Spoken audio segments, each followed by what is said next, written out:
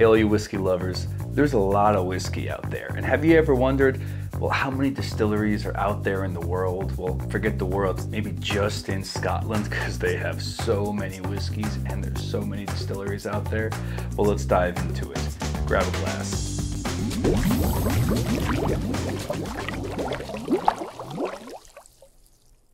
So Scotland is roughly 30,000 square miles and roughly 78,000 square kilometers big. That's not a very big country and it's not a lot of land to be producing so much whiskey. Now we've all heard these stories of hey Scotland has something like 22 million casks in maturation and they're not just all 200 liter casks, some of them are bigger. It really makes you wonder, hey, how many distilleries are there and do they ever stop producing anything? Probably not, because if you take all of these casks and line them up side by side by side by side, what you're going to find is you're going to have over 450,000 kilometers of space between barrel one and barrel last and continuing. That's enough to go around the world 11 times. And I think this is only going to become 12, 13, 14, 15 because it doesn't look like it's at any kind of point to stop anytime soon. It's good for all our whiskey fans. 53 bottles are actually shipped from Scotland to different markets in the world, over 180 different markets, every second.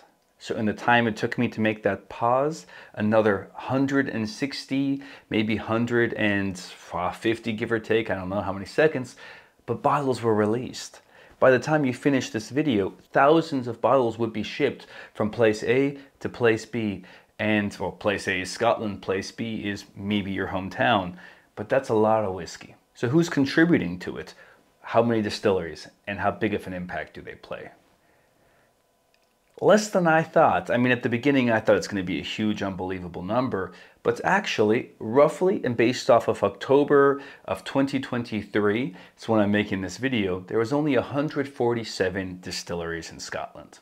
These distilleries are making single malt scotch, multi, uh, multi-grain whiskeys, you name it, experimental stuff, everything and in between. But there's only 147 right now. I put so much emphasis on right now and telling you it's October 2023 because this stuff changes a lot. If you check this video out in a year from now, who knows, we might have gone down in distilleries or you might have gone up.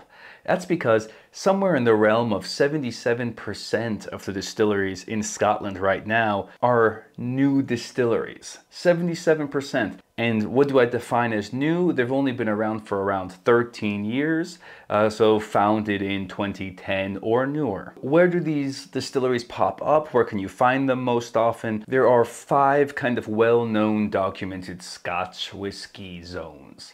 Uh, the first one being the Highlands, uh, it's going to be here on the map. And there you have roughly 47 distilleries, again, at this time.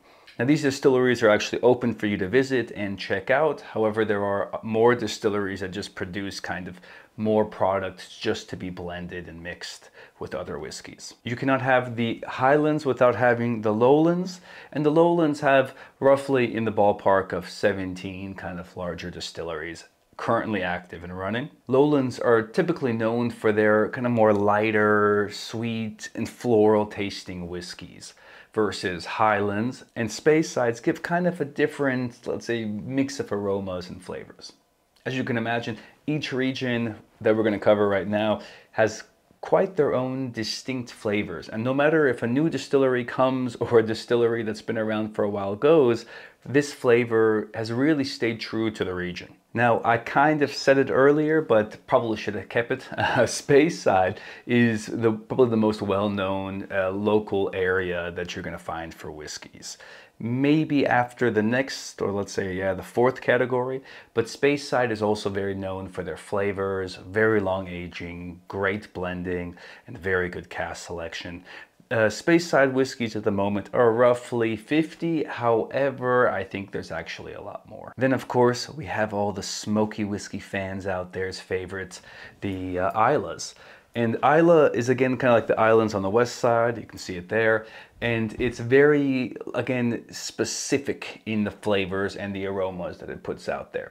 It's a very peat forward, uh, which gives you the smoky, the iodine, the uh, kind of heavier notes that you that you kind of associate with Scotch whiskey. And many people which are new into whiskey and they like the smoky flavor, they might think that this is just Scotch.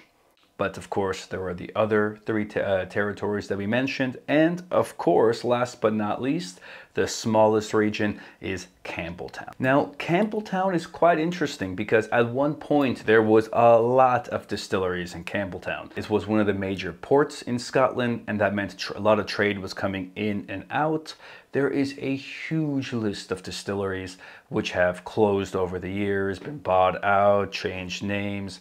But at the moment, the ones which are still around producing the most spirits that you can still get your hands on are just three. Of course, you have Springbank, Glengyle, and Glen which is actually a good transition to what I'm drinking today. So this here is the Victoria version of Glen Scotia. And uh, particularly, uh, I like the Victoria because A, I, I'm a sucker for a good whiskey story. And this here is marketed as a modern interpretation of a classic Victorian style Campbeltown malt whiskey. And I have to say, for me, it does taste different. And I really like how this tastes and what it tastes like for a whiskey. So at the moment, as of October 2023, we have 147 actively running distilleries. Probably by the time you see this video, even one month later, that number is inaccurate.